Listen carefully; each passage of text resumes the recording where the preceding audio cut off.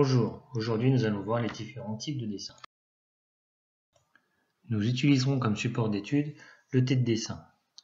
Le T de dessin permet au dessinateur de pouvoir tracer des lignes droites, horizontales et parallèles. Elle permet aussi de contrôler des angles droits.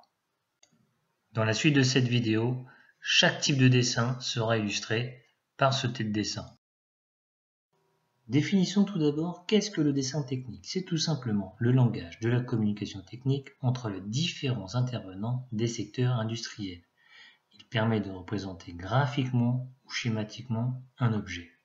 Vous avez donc à gauche le T de dessin en 3D et vous avez sa représentation graphique à droite en 2D.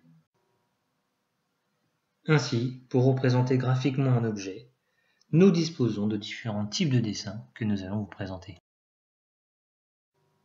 Le premier de ces dessins, c'est le schéma.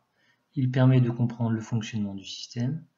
Il est très souvent réalisé avec des outils de traçage très simples, une règle, compas, équerre, et il figure des symboles graphiques pouvant indiquer les fonctions des composants et leurs relations. Nous avons ensuite le dessin d'ensemble qui représente l'ensemble des pièces du système représentant aussi la disposition et la forme des éléments assemblés, il est très souvent accompagné de sa nomenclature. Un exemple des nomenclatures dans le cadre rouge en bas à gauche. Une nomenclature, c'est tout simplement la liste des pièces complètes du système. Donc ici, vous retrouvez la pièce 1, 2, 3 qui compose le T de dessin. Dans cette nomenclature, vous retrouverez toujours 5 colonnes. Une colonne repère de pièces, une colonne nombre de chaque pièce, à savoir la quantité, le nom des pièces, la matière et enfin des éventuelles observations. En aparté, à ne pas confondre le cartouche et la nomenclature, la nomenclature n'apparaît uniquement sur un dessin d'ensemble, le cartouche apparaît sur tous les plans.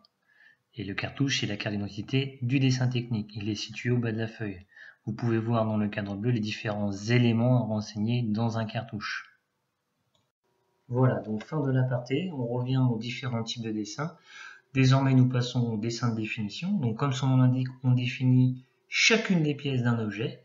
Comment on définit On définit donc toutes les formes et les dimensions, les dimensions chiffrées, c'est-à-dire les cotations, en vue de sa fabrication. Ce plan servira à la fabrication. Il fera foi lors du contrôle de la pièce après réalisation. Autre type de dessin, le dessin en perspective. Il représente l'objet en volume c'est-à-dire en trois dimensions, tel que l'œil le verrait. On ne respecte pas sur ce dessin les dimensions réelles. Voilà, donc on termine euh, la présentation de ces différents types de dessins par le dessin en vue éclatée. Ce dessin représente en perspective les pièces d'un objet les unes par rapport aux autres. Elle permet de mieux comprendre son fonctionnement et surtout le montage de l'objet. Voilà, cette vidéo est maintenant terminée. Je vous remercie pour votre attention.